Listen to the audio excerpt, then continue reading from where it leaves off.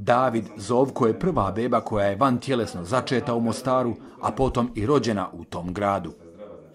Hodali smo i po Hrvatskoj, po raznim klinikama, traži neka rješenja. Nama su nudili, recimo, da se u Hrvatsku, ne znam, prijavimo da preko zdravstvenog osiguranja tamo ostvarimo e, besplatno, znači, besplatni pokušaj van tjelesne oplodnje. Međutim, sad naš posao, sad naš život je vezan tu za Mostar i bilo je malo nezgodno preseliti se komplet u, u, u Hrvatsku, jeli, da, da živimo tamo neki određeni period. Rješenje su našli u Mostarskoj klinici kod doktora Senada Sarića. Što se tiče reproduktivne medicine, problem začeća je veliki u civiliziranom svijetu, tako i kod nas u Bosni i Hercegovini, to je skoro 20 procenata ovaj, parova koji imaju taj problem. I ja se praktično već dvije decenije bavim željenom trudnoćom, pored opće ove ginekologije. Znači, tu od prvi e, pregleda parova koji imaju taj problem, e, razgovora toplim uslovama, blantim, ide se diagnostika jednog i drugog, znači, i onda se ide stepen po stepen da se vidi gdje je taj problem u začeću i pokuša se riješiti. Nakon dvije godine braka bez potomstva, rješenje u Mostaru je našao i jedan bračni par iz Nevesinja i to nakon nekoliko mjeseci pokušaja liječenja. U martu 2016 ulazimo u program sa, sa doktorom i profesorom i u septembru, a, septembru 4. ili 5. septembra se odvija sam čin te ovaj van tjelesne oplodnje i hvala Bogu iz i doktorima iz prvog puta uspjeva.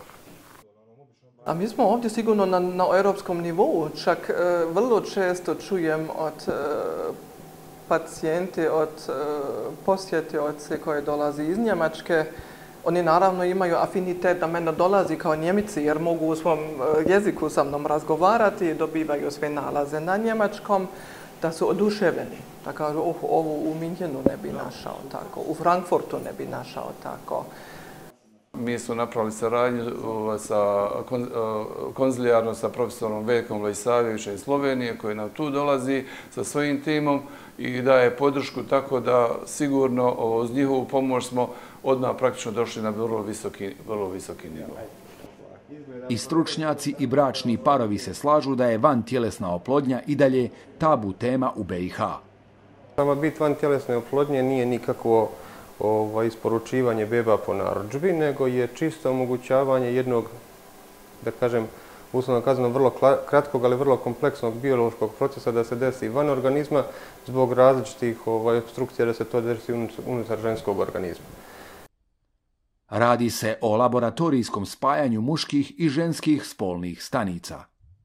E, ostavljamo u laboratorijskim uslovima taj organizam u nastajanju nekih 3 do 5 dana, u zavisnosti od specifičnosti svakog para pojedinačno, i nakon toga to vraćamo nazad u tijelo žene. Primijetio sam sad, ovaj, kad, kad, se uđe, kad se uđe u sve to, pa onda vam ljudi prilaze malo više, pa, pa, pa za, i saznajete za neke ljude za koje prije niste znali da imaju isti problem i vidim da, da, da se mijenja, mijenja pristup. Ima još, ima još malo bojazni od svega toga šta će reći sredina, kako će reći, šta je to u stvari, kakva su ta djeca koja se koja nastaju iz ovaj, van, tjelesne, van tjelesne oplodnje i to mi je drago. To mi je drago. I stručnjaci i roditelji također kažu kako su to, kao i svake druge zdrave bebe, i da je to razlog više da vlasti, pogotovo u Federaciji BiH, konačno donesu zakon o medicinski potpomognutoj oplodnji. Nažalost smo ovdje u situaciji gdje pacijentice i bračni parovi ne dolazi vrlo brzo do adekvatne adrese, nego lutaju godinama na neadekvatnim adresama, u neadekvatnim ustanovima i ne dobivaju direktno upute e, specializiranim centrima. Nažalost, mora se konstatirati da smo mi e, jedini taj bijeli areal ili rupca, ne znam kako će nazvati, civilizirano dijelo Evrope koji nema taj zakon. Sve druge zemlje imaju po 5, 6, 3, 4 pokušaja, a naša država ne podpomaže, ne podpomaže mladim parovima da dođu do roditeljstva. Evo, poručili vlastima i svima, znači da, da nas pogledaju malo, malo bolje, na, na, jer mi smo bili u takvoj situaciji financijskoj da smo, da smo mogli priuštiti to sve. Međutim, ima ljudi koji žele biti roditelji, ali jednostavno treba, treba im puno, puno više vremena da financijski to ostvare. Moram i pohvaliti doktora Sareć, njegovu kliniku, da se nema izašli u susret. Znači, taj zahvat koji smo kod njega platili, recimo u Hrvatskoj ili u okruženju dođe čak i do tri puta skuplje kad idete privatnim put. Pa ako Bog da planiram, idem, ne mislim stati na jednome, normalno. Želim da danas moje dijete ima brata ili sestru, nije važno, da nije sam.